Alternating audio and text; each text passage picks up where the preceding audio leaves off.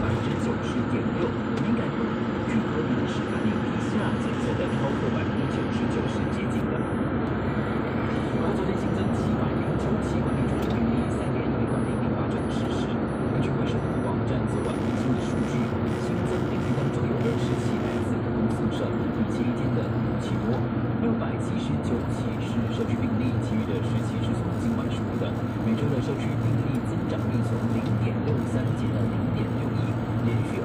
天低于一。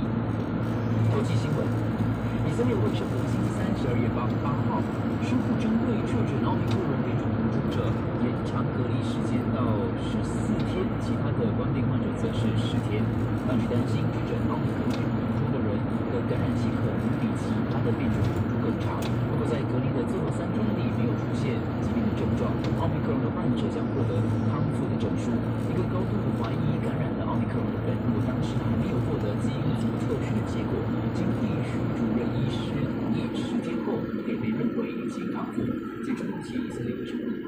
十一起奥密克戎确诊病例，还有另外二十一起高度疑似奥密克戎的病例。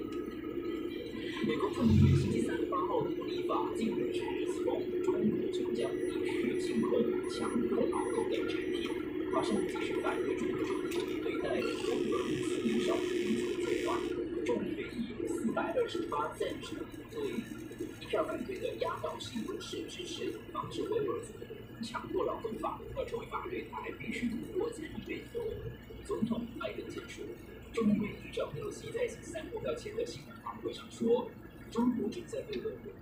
维吾尔族人和其他少数民族发动异常残酷的镇压行动，实行大规模的监禁、酷刑和强迫的劳动。所以，去三个小时整理新闻，更多即时新闻，请上早报长安区。全能 Q N Wellness 和你分享保健贴士。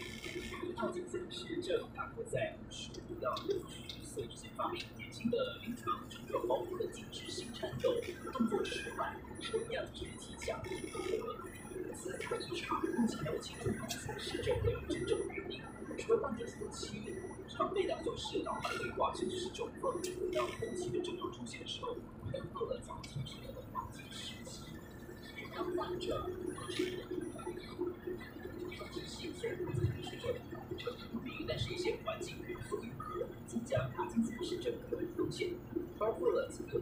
外伤、维生素 D、甚至不足、经常接触重金属、杀虫剂、除草剂、化学溶剂等等，多余压力还有体重过重等也会高危险的因素，日常生活可以稍加注意。全能 Q N Wellness 和你分享保健贴士。全能 Q N Wellness 是新加坡人首选的全系列植物性保健品，现在可在 Unity、Watson 各重要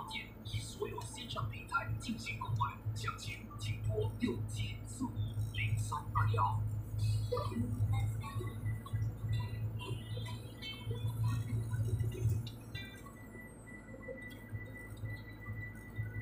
听众最给力，